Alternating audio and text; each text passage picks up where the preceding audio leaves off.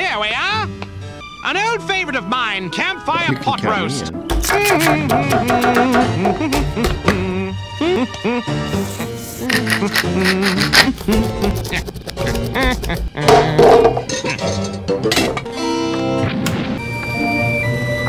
Let's dig in, shall we? Cut me a bigger piece.